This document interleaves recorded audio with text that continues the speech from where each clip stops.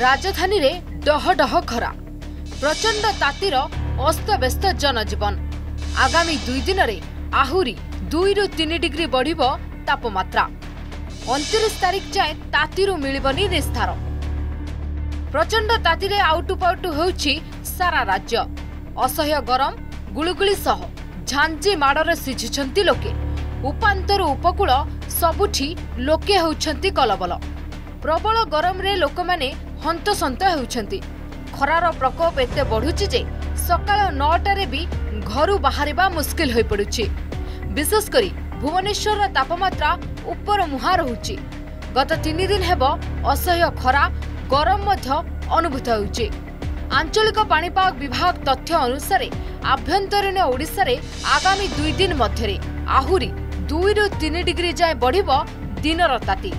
ତାପରେ ଖରାରୁ ଟିକିଏ ମିଳିବ ଆଶ୍ୱସ୍ତି अगला दो दिन में मैक्सिमम टेम्परेचर और भी इंटोनेशिया का डिस्ट्रिक्ट्स में दो से तीन डिग्री तक राइज करने का चांसेस है तो अगला चार पाँच दिन तक हमारा मोस्ट ऑफ द प्लेसेस में मैक्सिमम टेम्परेचर थ्री से फाइव डिग्री तक स्वाभाविक से ज़्यादा रहने का चांसेस है अगला चार पाँच दिन में स्लाइट डिक्रीज का चांसेस है भुवनेश्वर सिटी में बट टेम्परेचर हायर साइड ही रहने का चांसेस है ଆଗାମୀ ଦୁଇ ଦିନ ପରେ ଦୈତ୍ୟ ନଗରରେ କମିବ ଦିନର ତାପମାତ୍ରା ତିରିଶ ତାରିଖ ବେଳକୁ କାଳ ବୈଶାଖୀ ଜନିତ ବର୍ଷା ହେବାର ସମ୍ଭାବନା ରହିଛି ଫଳରେ ଭୁବନେଶ୍ୱର ଏବଂ ତାହା ଆଖପାଖ ଅଞ୍ଚଳର ତାପମାତ୍ରା କମିବ ବୋଲି ସୂଚନା ଦେଇଛନ୍ତି ପାଣିପାଗ ବିଶେଷଜ୍ଞ ଏଥିସହ ରାଜ୍ୟରେ ମୌସୁମୀ ବର୍ଷାର ପ୍ରାରମ୍ଭ ସ୍ୱାଭାବିକ ରହିବ ଜୁନ୍ରେ ସ୍ୱାଭାବିକ ବର୍ଷା ମଧ୍ୟ ହେବ ମାତ୍ର ପରେ ମୌସୁମୀ ଗାୟବ ହୋଇଯିବାର ସମ୍ଭାବନା ମଧ୍ୟ ରହିଛି ଏମିତି ହେଲେ ଏହାର ପ୍ରଭାବ କୃଷି କାର୍ଯ୍ୟରେ ପଡ଼ିବ ବୋଲି ଆକଳନ କରିଛନ୍ତି କୃଷି ପାଣିପାଗ ବିଶେଷଜ୍ଞ ସୁରେନ୍ଦ୍ରନାଥ ପଶୁପାଳକ। ଓଡ଼ିଶା ବର୍ଷା କିଛି କମିପାରେ ତାର ହେଉଛି ଚାଳିଶ ପରସେଣ୍ଟ ପ୍ରବିଲିଟି ଅଛି ଯେ ଓଡ଼ିଶାର ବର୍ଷା କମିପାରେ। ଜୁଲାଇ ଶେଷ ବର୍ଷରୁ ଅଗଷ୍ଟ ମାସଟା ହେଉଛି ମୁଖ୍ୟ ସମୟ ରୁଆ ବ୍ୟବସାୟର ସମୟ ଆଉ ଧାନର ଆଉ ଧାନ ହେଉଛି ଆମର ପ୍ରଧାନ ଫସଲ। ତେଣୁ ଏହା ପରେ ପ୍ରତିକୂଳ ପ୍ରଭାବ ପଡ଼ିବାର ସମ୍ଭାବନା ରହିଛି।